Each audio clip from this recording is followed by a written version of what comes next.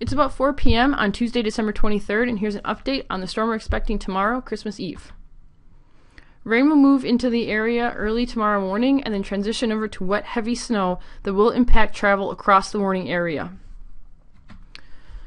So, right now we have a winter storm watch out for the Chicago metro area, which includes Lake County, Indiana, all the way through Kane County, Illinois, south through Kankakee County. And this is where we're expecting a narrow band of heavy snow to, to develop sometime tomorrow afternoon. We're not exactly sure where it will develop, but it will be in this region, and conditions will quickly deteriorate underneath this band. Outside of the watch, we have a winter weather advisory that extends from the Illinois Wisconsin state line through central Illinois and over portions of northwest Indiana. Looking a little bit less snow in these areas, but enough to impact travel. So, how much snow are we looking at? If you're in the watch area, we're looking at 4 to 7 inches of snow then about 2 to 5 inches of snow for the advisory, and then the outlying area should see 1 to 4 inches of snow. Once again, I'd like to stress the snow is going to be very wet and heavy.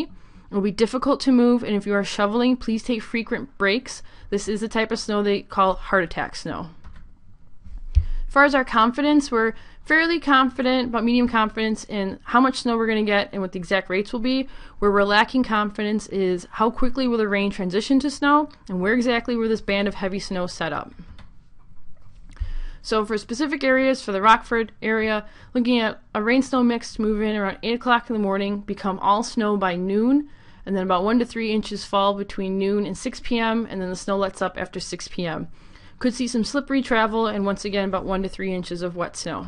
For the Chicago metro, which would be the hardest hit area, rain turns over to snow in the late morning, early afternoon hours. Then between noon and 6 p.m., moderate to heavy wet snow is expected with at least 3 to 7 inches of snow.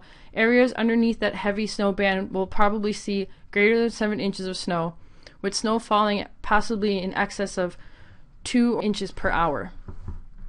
Travel will probably be nearly impossible underneath this band of snow.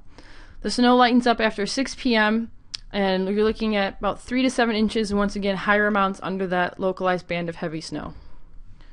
For northwest Indiana, uh, rain will move in about 4 a.m. tomorrow morning, and then becomes snow in the mid afternoon hours, with 2 to 4 inches of snow falling in the late afternoon to the evening, and then snow tapering off in the evening. Looking at about 2 to 5 inches of snow uh, travel could be dangerous in portions of northwest Indiana the closer you get to Illinois and Chicago. So here's a list of items to have in your car uh, if you are traveling and a couple websites to look at for travel conditions.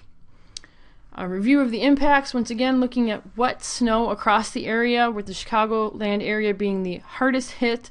Please keep track of future forecasts if you are traveling. This was an update on the Christmas Eve storm. For updates, please look at our website, www.weather.gov/chicago, or on Facebook and Twitter. Thank you.